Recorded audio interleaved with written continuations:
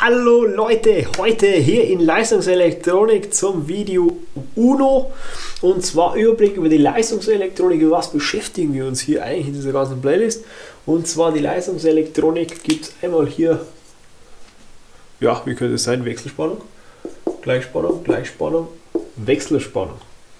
Ja, das ist mal schönes Wechselspannung. Ja, Wechselspannung. So, jetzt aufpassen, mitgedenken.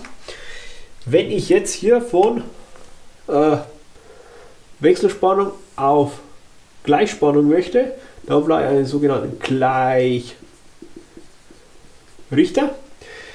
Wenn ich jetzt von Gleichspannung auf Gleichspannung möchte, brauche ich einen Gleich, uh, Gleichstromsteller.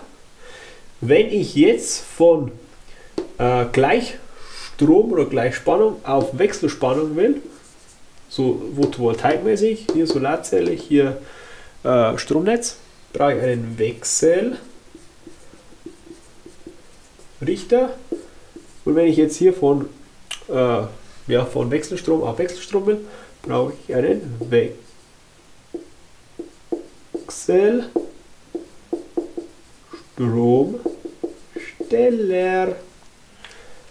Ja, und, dies, und um diese ganzen Themen beschäftigen wir uns hier in der Leistungselektronik. Ja, mehr ist es nicht, Leute. Mehr ist es wirklich nicht. Das ist die Leistungselektronik. Diese vier Bereiche gibt es.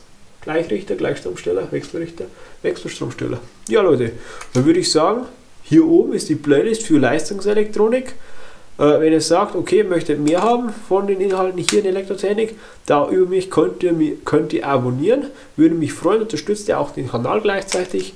Und ja, wünsche euch noch einen schönen Tag. Euer Alexander, wie immer hier in Elektrotechnik in 5 Minuten und tschüss.